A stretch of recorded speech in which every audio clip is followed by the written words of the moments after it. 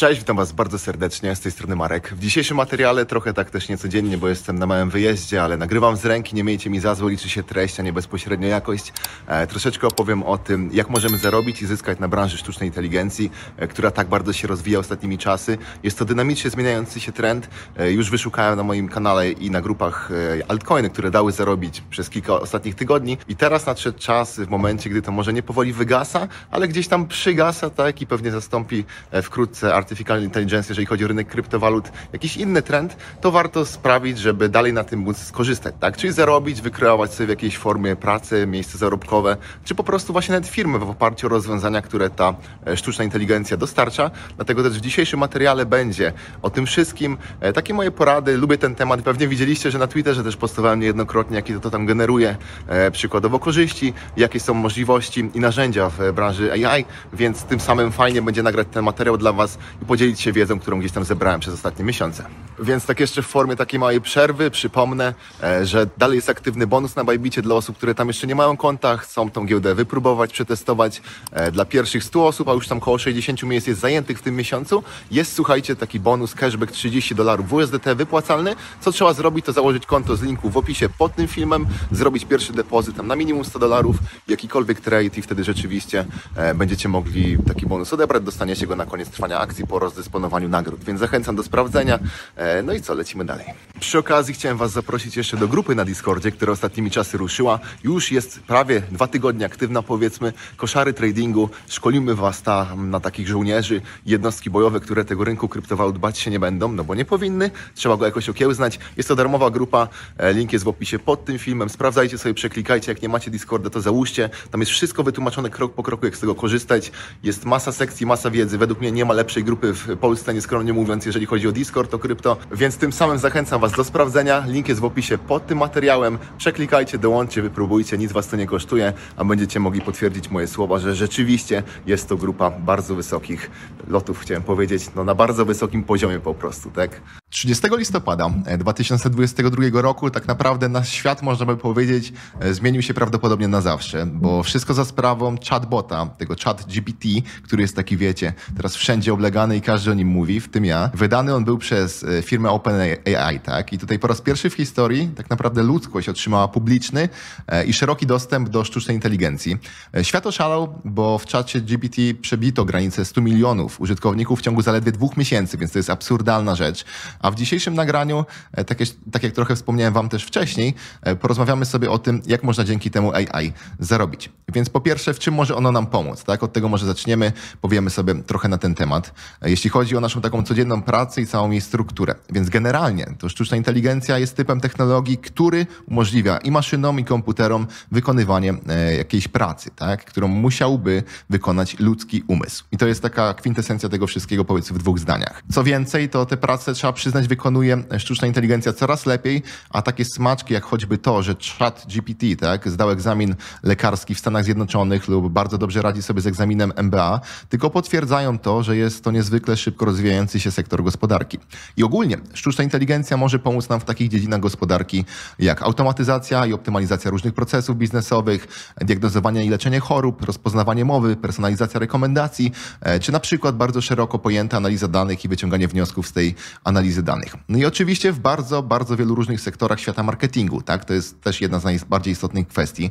E, Muszę tutaj przyznać, że przez ostatnie dni dość sporo czasu poświęciłem na analizę narzędzi wykorzystujących w swoim działaniu sztuczną inteligencję i chciałbym Wam opowiedzieć o kilku sektorach i pomysłach na biznes, które możecie zacząć właśnie przy wykorzystaniu AI Więc tak naprawdę zarobienie 10 czy tam 15 tysięcy złotych miesięcznie, mając dostęp do na narzędzi, tak, e, takich jak te, jest kwestią czasu, ustanowienia swojej pracy w odpowiedni sposób i odpowiedniego poziomu zaangażowania. Oczywiście brzmi błaho, ale w taki sposób według mnie jesteśmy w stanie zawsze dużo osiągnąć. Chodzi tutaj o konsekwencje, próbowanie, próbowanie i testowanie różnych rozwiązań. Więc pomysły na biznes oparte o AI e, będę wymieniał jeden po drugim i opisywał każdy z nich, żebyście mieli właśnie na to jakiś szerszy pogląd. Więc zaczniemy od copywritingu. Jest to pierwszy sektor, sektor, e, szeroko pojęty marketing z naciskiem na tworzenie treści copywriterskich, czyli po prostu pisanie, tak? Bo no, pewnie zadajecie sobie pytanie, albo gdzieś tam z tyłu głowy macie coś takiego, że no, jak teraz wygląda ten zawód copywritera? No taka osoba, wiecie, otrzymuje dane zlecenie i albo musi najpierw przygotować się merytorycznie do napisania takiego tekstu, albo jeżeli już jest ekspertem w danej dziedzinie, to siada i pisze dany wpis. Mm, tutaj dla przykładu, wpis na bloga może zająć tej osobie na przykład kilka godzin, jeśli jest to bardzo rozbudowany artykuł zawierający niezwykle specjalistyczną wiedzę, to nawet kilka dni.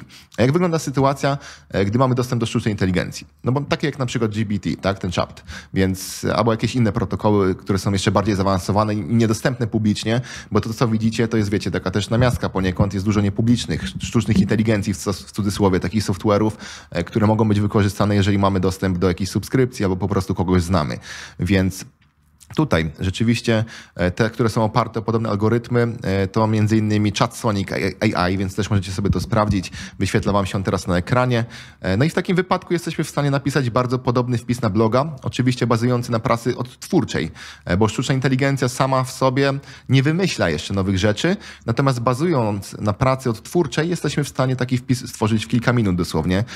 Proste porównanie to to, że jeżeli copywriter za jeden wpis pobiera na przykład 150 zł i będzie w stanie wykonać trzy wpisy dziennie, no to zarobi 450, tak? To, to korzystając z czatu GPT przy wsparciu swoich tekstów jesteśmy w stanie stworzyć nie 3, a na przykład 15 wpisów dziennie i dzięki temu nawet obniżając cenę, dzięki czemu będziemy bardziej konkurencyjni, to dajmy na to za 100 zł wpis, tak? Czyli ponad 3 razy tyle możemy zarobić wykonując taką samą liczbę pracy, jeśli chodzi o godziny naszego czasu. Wiadomo, że to jest mocne uproszczenie, ale da się to zrobić. Po prostu pamiętajcie, że sztuczna inteligencja wielu rzeczy za was sama nie zrobi, ale pomoże wam po prostu usprawnić procesy, yy, pomoże wam zrobić coś szybciej, napisać coś lepiej, wydajniej, ciekawiej, bardziej kreatywnie i to o to chodzi. Nie zastąpi Was w pełni, dalej trzeba pracować, przynajmniej obecnie, ale pomoże bardzo mocno. Kolejny pomysł to taki kreatywny storytelling, e, więc to jest właśnie rzecz e, oparta o wymyślanie tekstów e, z wymyślaniem historii, to właśnie tak bym to nazwał, takim kreatywnym tym storytellingiem. No bo jeżeli chodzi o to, jak wygląda teraz proces wymyślania na przykład nowej bajki, całego serialu bądź filmu, to wygląda tak, że ktoś musi siedzieć i od A do Z tworzyć scenariusz, tworzyć historię, wymyślać bohaterów do danego świata czy uniwersum. Niestety możliwości naszego mózgu nie są nieograniczone, prawda? I w pewnym momencie dotrzemy do etapu, gdzie nasza głowa nie będzie w stanie wymyśleć już większej liczby pomysłów. No i w tym właśnie momencie przychodzi nam na pomoc AI, e, dzięki której będziemy w stanie wymyślać całe uniwersa, całe światy, dosłownie będziemy w stanie tworzyć uniwersum tak szczegółowe, jak na przykład to z Gwiezdnych Wojen, czy jakiś świat Disneya, e, powiedzmy o wiele takimi mniejszymi zasobami. No i to wszystko e, wymyśli za nas sztuczna inteligencja na podstawie miksu kilkuset czy kilku tysięcy różnych historii, więc ona je przerobi, udoskonali, gdzieś tam jakiś twist, twist czy plot twist doda i będzie to po prostu wszystko działać. Jeżeli chodzi o ten pomysł, to jesteśmy w stanie tutaj działać z dwóch różnych perspektyw. To znaczy, po pierwsze, możemy taki content tworzyć dla siebie i samemu wymyślać własne scenariusze, jakieś treści na swoje kanały prywatne, tworzyć sobie poprzez to naszą społeczność fanów, wiecie, rozwijać po prostu swoje socjale i tak dalej, i tak dalej i później to w jakiś sposób monetyzować, albo jesteśmy też w stanie pracować jako kontraktor kreatywny e, przy realizacji jakiejś większej produkcji dla większej firmy, po prostu wspierać ich swoją kreatywnością, a tak naprawdę to będzie kreatywność przy wsparciu sztucznej inteligencji, więc trochę taki lifehack, nikogo tym nie krzywdzicie, a możecie sobie pomóc i jeszcze gdzieś tam zyskać e, po prostu, wiecie, aplauz od osób, które nie miały pojęcia o takich narzędziach, aby wy wdrożyliście coś ciekawego do innej firmy. Przy okazji chciałbym przypomnieć, że ruszyliśmy e, z koszarami tradingu. To jest właśnie grupa, e, gdzie na Discordzie dzielimy się za darmo wiedzą. Ja się też dzielę właśnie różnymi tradami, przemyśleniami, e, analizami altcoinów czy low capów, więc sobie przeklikajcie, wpadajcie, link jest w opisie pod tym filmem. Jest to takie miejsce, tak jak mówiłem wcześniej, które was przygotowuje do walki na rynku kryptowalut, więc chcę, żebyście walkę tą po prostu skończyli starczą, a nie na tarczy, czyli wracajcie jako zwycięzcy każdego dnia, idźcie spać zadowoleni i tam nie płaccie w poduszkę, dlatego też chcę Wam w pewnym po prostu takim wydaniu usprawnić te różne procesy, nauczyć szybciej wyedukować, dzięki czemu każdy będzie zadowolony. No dobra, więc kolejna bardzo interesująca rzecz, którą można stworzyć przy pomocy AI, to tak zwany SaaS, czyli rozwijając skrót Software as a Service. I tutaj myślę, że te możliwości są praktycznie nieograniczone. E, można tworzyć różnego rodzaju aplikacje. I szczerze mówiąc, dzięki sztucznej inteligencji bylibyśmy w stanie jeszcze znaleźć dziesiątki tysięcy pomysłów na model biznesowy. Mogę to kiedyś zrobić. Jeżeli chcecie, to dajcie znać w komentarzu. Oczywiście nie dziesiątki tysięcy, ale mam na, mam na myśli gdzieś tam kolejne pomysły. E, więc jeżeli dla Was to jest ok, to po prostu mi napiszcie w komentarzu, ja tam coś Wam naskrobię po, po, moich przemyśleniach. Nie jestem w stanie tego taśmowo robić, ale wiecie, raz na miesiąc czy coś, to może być taka też seria na kanale. Więc wyobraźmy sobie takie przedsięwzięcie, e, w którym na przykład tworzymy aplikację e, pomagającą nam wybrać, no na przykład, nie wiem, slogan dla naszej firmy na podstawie informacji, które jej dostarczamy. I oczywiście za wymyślenie 10 różnych propozycji sloganu dla firmy odpowiadałaby sztuczna inteligencja. Może to być nawet takie narzędzie jak ten chat GPT. Natomiast cała usługa wymyślenia sloganu czy wymyślenia nazwy mogłaby być płatna i kosztować na przykład 10 dolarów. I w tym przypadku naszym głównym zadaniem jest stworzenie wersji takiej aplikacji czy strony internetowej. Wiadomo, że tutaj przydałaby się pomoc programistyczna, przynajmniej na początku, a później pozostanie nam już tylko promowanie i pozyskanie nowych klientów, czyli to, co najważniejsze w każdej firmie, sprzedaż. I tutaj rzeczywiście nie trzeba bazować tylko na takim płatnym modelu, jak wspominałem, ale można też podejść do tego na modelu bezpłatnym, tak jak robi to dużo bezpłatnych generatorów właśnie. Sposób jest bardzo prosty. Stawiamy stronę, która będzie przy współpracy ze sztuczną inteligencją właśnie generować przykładowe nazwy na podstawie przez użytkownika pytań i wpisanych fraz. Na każde wyświetlenie tej strony będzie skutkowało pokazaniem się jakiejś reklamy, czy podrzuceniem jakiegoś reflinka lub produktu, czy usługi, za co my tak naprawdę będziemy zarabiać pieniądze. I wtedy naszym głównym zadaniem jest ściąganie ruchu na stronę i w zasadzie liczenie pieniędzy, bo tego typu biznes naprawdę nie musi być całodobowy naszym zajęciem. Może być tak zwanym side hustle, czyli po prostu malutkim projektem na boku, który potem się przerodzi w coś dużego, tak jak u mnie to często bywało. E, kanał też, wiecie, nie był moim głównym biznesem, Szczególnie na początku, e, rzeczywiście, wiecie, miałem jakieś sklepy internetowe i tak dalej, później sobie to trochę odpuściłem, bo w oparciu o rynek kryptowalut zbudowałem no już takie małe imperium, jeżeli chodzi o różne poboczne zajęcia. Ja też się tym gdzieś tam nie chwalę na prawo i lewo, bo nie mam takiej potrzeby, ale ja nie działam tylko na rynku polskim w różnym wydaniu, czy to właśnie video creation, czy gdzieś tam e, w formie tekstów, czy stron, działam również na rynkach zagranicznych, jeżeli chodzi o afilacje i inne rzeczy, e, więc tak to wygląda. Po prostu wychodzę z założenia, że rynek kryptowalut jest obecnie najbardziej zmiennym ze wszystkich i wolę się na nim skupić może nie w pełni, tak, bo też różne nieruchomości i tak dalej, to są tematy, które mnie interesują, ale, e, czy jakieś tam alternatywne tematy inwestycyjne, ale chciałbym się na nim po prostu skupić jako taki main i to właśnie robię od dłuższego czasu, czyli po prostu porzuciłem niektóre projekty, które nie były aż tak dochodowe, przykładowo, nie wiem, zarabiałem z czegoś 12 tysięcy złotych, ale zajmowało mi to, kurczę, 100 godzin w trakcie miesiąca, tak, więc przestało to mi się po prostu kalkulować i opłacać, dlatego też stwierdziłem, że wolę mieć kilka takich srok za ogon złapanych powiedzmy na rynku kryptowalut e, w różnej formie zdywersyfikowane, które właśnie można doszlifowywać każdego dnia w formie marketingu internetowego w głównej mierze, niż gdzieś tam bezpośrednio e, tylko i wyłącznie skupiać się na tym, e, żeby, nie wiem, robić jakieś tradycyjne biznesy, bo to już po prostu często nie działa. Trzeba mieć jakieś wielkie lokale, magazyny. No wiecie, ja też mam jakiś sklep internetowy, coś tam, mam kilka różnych rzeczy, ale to wiadomo, jedno działa lepiej, drugie gorzej. Jak najmniej po prostu takiego uziemienia stacjonarnego w jakimś miejscu bym chciał mieć w życiu. Dzięki temu też mogę więcej podróżować, dzięki temu mogę robić różne rzeczy. Pracuję głównie przez komputer i, i telefon, w sumie to głównie przez telefon e, i tak to wygląda. No i tego samego Wam życzę, kończąc tą myśl, która się wykluła z tego, co mówiłem z tym side hustle.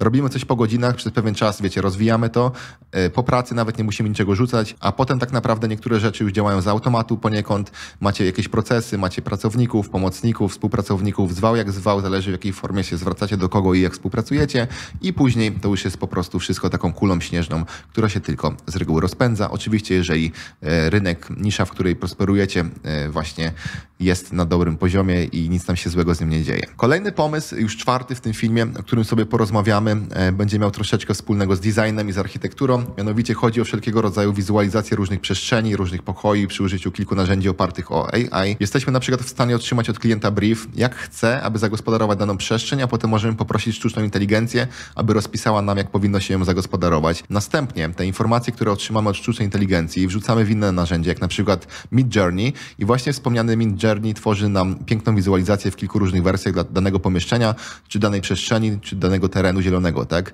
e, którą możemy najzwyczajniej w świecie przesłać do klienta i otrzymać za to wynagrodzenie.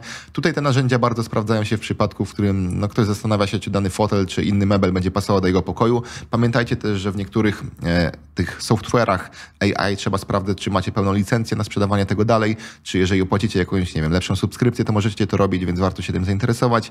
No i co? Wtedy prosimy też o opisanie na przykład tego pokoju bądź o zdjęcie i przy współpracy z narzędziami AI można powiedzieć, że tworzymy wizualizację właśnie tego danego pokoju z meblami, e, które miałyby się tam znaleźć i bardzo upraszczamy sobie pracę rzeczywiście robimy coś szybciej i to w bardzo ładnej formie, e, dosyć kreatywnie ciekawy sposób według mnie dla osób takich, które lubią tego typu klimaty i rzeczy. No dobra, więc idziemy dalej, wkraczamy w Matrixa coraz głębiej, e, więc przejdźmy do kolejnego pomysłu. Nie będzie on już oparty o te narzędzia, które moglibyśmy sobie wyobrazić, gdy mówimy o sztucznej inteligencji, ale o stworzeniu cyfrowego influencera, więc już mówię o co chodzi. Jeszcze takie małe przemyślenie mnie naszło właśnie jak mówię, że ja wiecie, ja mam multum pomysłów, ja mam dziesiątki pomysłów na jakieś biznesy na miesiąc. E, większość odrzucam samemu nawet z mojej głowy, część odrzucam po prostu później w fazie testów. Nie da się wszystkiego robić. Ja tak jakoś, nie wiem, intuicyjnie się nauczyłem.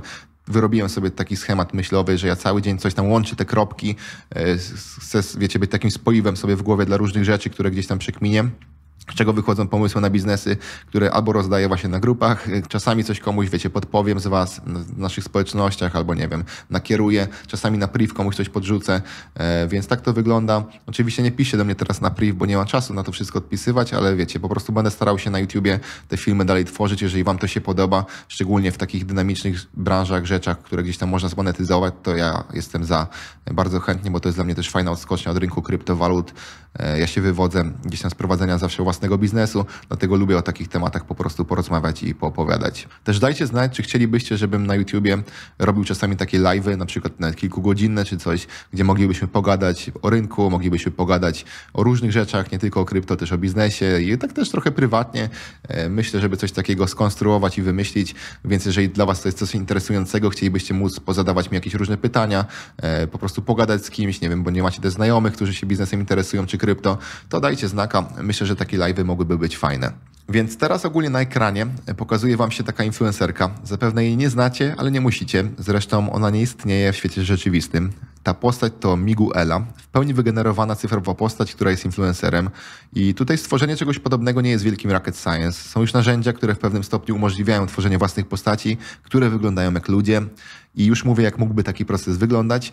Przy użyciu narzędzia Syntezja Data.io tworzymy postać i generujemy jej głos. Taka postać może być bohaterem, na przykład kanału na TikToku bądź kanału na YouTubie. Jeśli chodzi o Instagram, to narzędzia typu Midjourney lub playgroundai.com pomoże nam w stworzeniu tysięcy zdjęć danego bohatera. Tak naprawdę jesteśmy w stanie zarządzać kilkudziesięcioma takimi influencerami, a nawet w pewnym stopniu monetyzować to, co robią, czy to poprzez sprzedaż reklam, jak robi to większość influencerów, czy nawet poprzez tworzenie własnych produktów dla społeczności. To jest, wiecie, Matrix, to jest mm, Black Mirror, ale to da się zrobić.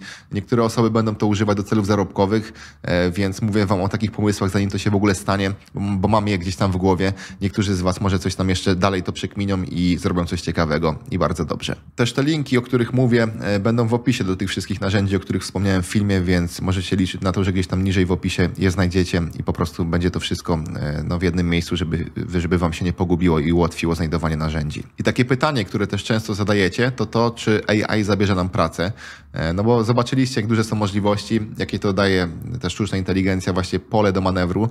Pojawia się tutaj pytanie, czy większość zawodów, które znamy dzisiaj, zostanie zastąpiona przez AI i roboty? Jest to bardzo złożone pytanie, e, ciężko na nie odpowiedzieć w krótkim materiale filmowym, natomiast na pewno struktura zatrudnienia i forma prawie każdego zawodu w następnych latach diametralnie się zmieni. W związku z tym uważam, że warto uczyć się, jak działa sztuczna inteligencja. E, warto robić to właśnie wspólnie od samego początku, jak ten trend się rozwija, niż tam po ptakach znowu, wiecie, zapomnieć o tym wszystkim i ktoś nas wyprzedzi. Warto wykorzystać ten trend, poznawać. E, tak naprawdę to dopiero teraz powstaje. Jeśli chodzi o pisanie treści w oparciu o sztuczną inteligencję, to prawie nikt tego obecnie nie robi. Chciałbym właśnie razem z Wami, jeżeli wyrażacie taką chęć, taką serię kontynuować, wpisy na Twitterze, na YouTubie i tak dalej, na Discordzie, będziemy o tym czasami porozmawiać mogli, bo nie tylko projekty krypto są w AI, ale dużo innych perspektyw, o których Wam teraz opowiedziałem. Jeśli te narzędzia sztucznej inteligencji wejdą jeszcze mocniej do mainstreamu, to po prostu może się okazać, e, że biznesy oparte o AI będą miały bardzo dużą konkurencję, dlatego warto sobie zacząć działać jak najszybciej, żeby zbudować sobie odpowiednią przewagę na rynku. Wiadomo, kto pierwszy, ten lepszy. Często tak bywa. Więc tak podsumowując już, to jak widzicie, możliwości zarobkowe dzięki sztucznej inteligencji, wdrożeniu jej w nasz biznes lub w ogóle stworzeniu całego biznesu w oparciu o AI są naprawdę bardzo duże. Oczywiście ta sztuczna inteligencja wciąż jest na bardzo wczesnym stadium, tak jak mówiłem zresztą, ale musimy zdać sobie sprawę, że wzrost technologii nie jest taki liniowy, czyli nie rośnie każdego roku o ileś tam, nie wiem, procent, tak, ma bardziej postać wykładniczą, to znaczy, że przez jeden rok może wydarzyć się tyle, co wydarzyło się przez ostatnie 20 lat na innych rynkach, więc w związku z tym warto śledzić rozwój e, sztucznej inteligencji. Ja na swoich mediach stale update'uję o nowościach, staram się informować na bieżąco, bo według mnie jest to niesamowicie przyszłościowy trend, zajarałem się nim sam. Na rynku krypto może przeminie, na rynku pracy nie. Więc również się tego stale uczę, wykorzystuję w moich przedsięwzięciach biznesowych. Więc dajcie też proszę znać, który z tych pomysłów, które Wam przedstawiłem, wydaje się być najsensowniejszy, który z nich wydaje się być taki najprostszy do wdrożenia. Może macie jakieś dodatkowe pytania, no i od którego z nich zaczniecie swoje działanie. No i jeżeli chodzi o tę wersję tekstową, to chyba tyle. Zaraz się jeszcze z Wami pożegnam. O, tutaj już kończąc dzisiejszy materiał, słuchajcie, odwiedziłem mojego kolegę Łukasza w jego biurze. Cześć Łukasz. A dzień dobry, witajcie w moim biurze na Fuerteventurze. Ale zrymował, jak Mike Satoshi prawie. I tutaj tak, rzeczywiście jest bardzo ładnie, bardzo nam się podoba, bo jest taka przestrzeń, wiecie, do pracy, tylko jest dosyć ciemno, ale już chciałem nagrać takie fajne zakończenie, e, więc rzeczywiście się z Wami pożegnać, e, poinformować o tym, że no, następne filmy też będą już niedługo, nie jest tak, że się tutaj lenię, ja tak lubię, wiecie, sobie trochę popracować, e, pojeździć i no, jakoś tak hybrydowo tego wszystkiego zażyć, że tak powiem, nie tylko siedzieć w biurze, bo czasami się zapędzę i tam 13 godzin w te poniedziałki spędzam, więc nie jest to nic zdrowego, można by tak to ująć w słowa. Dlatego też sobie jeszcze tutaj przysiądę, popracujemy, później jakaś kolacyjka. Niestety muszę Wam jeszcze powiedzieć, że dzisiaj na surfingu chciałem drugi raz spróbować w życiu. Zbiłem żebro i nawet nie mogę pełnego wdechu wziąć, bo tak ta deska, tak mi wiecie, tak strzeliła w ten pysk i w klatkę piersiową. No i niestety nie było to sprzyjająca sytuacja na pewno dla młodego człowieka i trochę mnie to zabolało, ale no trudno, będę się jakoś kurował, będę się leczył. No i tyle w sumie. Żegnam Was serdecznie. Pamiętajcie o tych linkach w opisie, o tym Discordzie i Bajbicie, co Wam mówiłem wcześniej. No już nie pomijajcie tego, bo to bardzo ważne, jeżeli oczywiście chcecie, tak? I widzimy się w następnych materiałach. Zostawcie tam subskrypcję, kciuk w górę i wpadnijcie na inne socjale. Na razie. Cześć. Jeszcze Wam pokażę, jaki ładny obraz taki zielony. Aż mi się spodobał, to go tutaj Wam na koniec wrzucę. To chyba liście.